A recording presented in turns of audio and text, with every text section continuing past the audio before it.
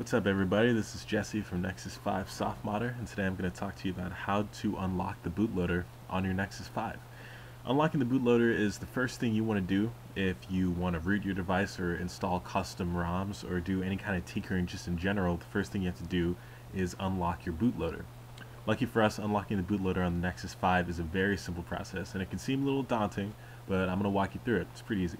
The first thing you have to do, oh, be warned, if you unlock your bootloader, it is going to erase all the data on your phone. All of it. It's going to be like a factory reset. Your phone's going to look like, it first looked like when you got it out of the box, like it was brand new. So anything that's important to you, anything you care about, you're going to want to back up all that stuff. You're going to want to make sure that everything you care about is synced to your Google account, your contacts, your Gmail, things like that. Um, if you want to save your text messages, there are apps in the Play Store you can download to do that. Um, just make sure you have everything backed up that you care about so that when you unlock your bootloader, you turn your phone on, you can just put everything you want back on your phone. Okay, so the first thing you're going to want to do is you have to download the uh, Android SDK tools. Um, I found a slim version of that that won't take that long to download. Uh, there's a link in the full tutorial. Go ahead and click on it and then you have to click on this download tab right here. And you see there's three different download icons. It's pretty confusing. It's ridiculous. It's the internet. I know. It's crazy. Just hit this middle one. This is what's actually going to download the file for you. So click that. You can see that that is now being downloaded. Show all downloads. Okay so we got Android SDK slim.zip I'm going to show in folder so we can navigate to it so this is what's going to look like. Make sure it's Android SDK Slim. This is the file that you want. Um, to make things easier to navigate, I'm just going to create a new folder. And I'm going to call it SDK so that I know where to go to. And I'm just going to take this file and I'm going to drag it over here, drop it here, so that we can find it whenever we're looking for it. And open the folder. You're going to need to extract it. You can extract it with whatever extractor you want to use. I think I'm using WinRAR. You can use 7-zip. There's a lot of great free programs out there. Extract it here. Once it's extracted, um, click on the folder. Make sure that everything's here. This is what you want to see. You're going to see APIs, systrace, these tools. This is all. This is what you're going to need for uh, your PC to talk to your Android phone once you plug it in, so you can issue the commands that you need to do. Once you've downloaded these files, you're going to change a few settings on your phone, on your device, and then you're going to start the phone in the bootloader, and I'm going to show you how to do that. Let's go over to the phone. Okay, now that we're looking at our Nexus 5s, we got to just change a couple of settings to make sure that our PCs can communicate with our phones so that we can issue some commands. So we're going to go to Settings. You're going to have to enable developer options. What you're going to do is you're going to scroll down to About Phone. Once you're here, you go down to build number, and you're actually going to keep tapping this. You're going to have to tap it five or six times. For me, it says no need, you're already a developer, but you're going to keep hitting it until you see a message that says tap four more times, tap three more times. If you tap it enough, it unlocks developer mode.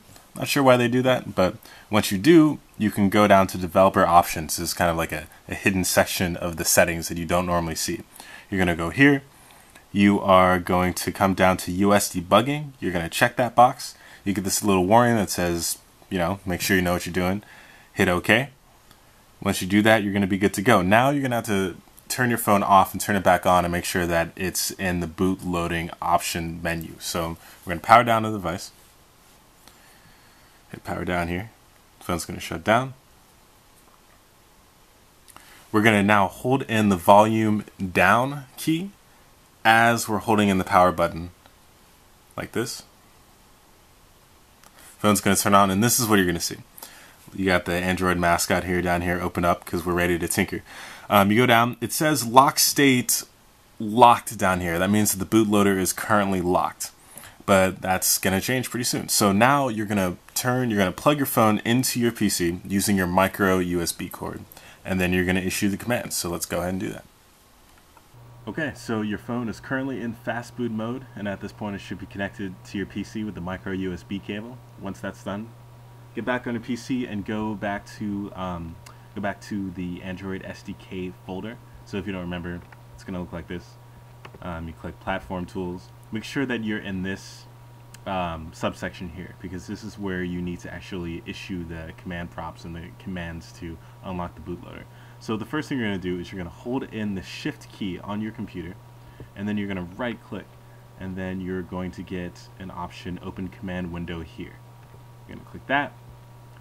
You get this directory here and you're going to type in we are going to type in fast boot devices with the space between fast boot and devices.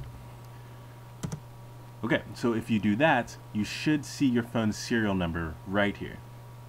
If you don't see it, that means that your phone, your computer probably doesn't have the right drivers that it needs to have for your phone. You're gonna make, you're gonna want to make sure you download those. You can check that out in the full tutorial. I have a troubleshooting section where you can go and make sure they have the right drivers on your computer so that your computer and your phone can talk to each other, make sure that everything's okay. So if you type in fast boot devices and you see your phone serial number, that means you're good to go. So now we're going to actually unlock the bootloader. So again, remember, this is going to wipe all the data on your phone. So make sure you're good to go before you proceed. If you're ready, type in fastboot OEM unlock.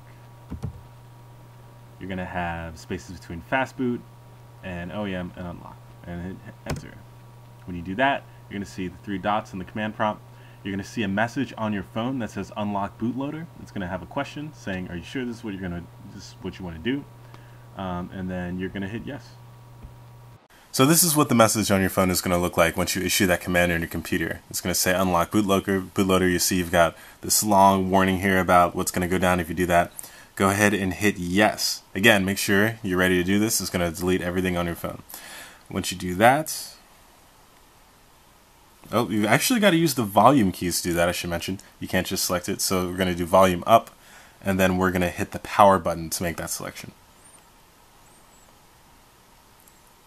And this is how we know that our phone's working, the command is working. Right down at the bottom it says erasing, a very ominous thing, but it's a good thing for our purposes here. When your phone is doing this, make sure that you don't unplug it from your computer. Um, you don't want the phone to turn off, you don't want to interrupt the process in any way. Okay, now you should see a red message down here that says lock state unlocked. That means you have now unlocked your bootloader. Everything's done. You, you succeeded. You're on your. It's the first step of a long journey. It's going to be a fun journey. Hope you liked it.